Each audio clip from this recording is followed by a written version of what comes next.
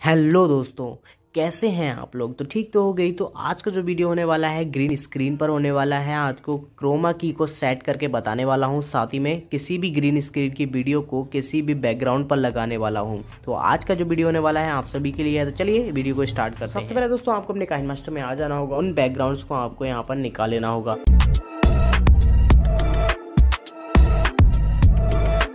तो फिर वीडियो को निकाल लेते हैं जो भी हमारे ग्रीन स्क्रीन की वीडियो। और उसके बाद बैकग्राउंड जितने भी हैं उन सभी को आपको थोड़ा थोड़ा स्प्लिट कर देना है पीछे से।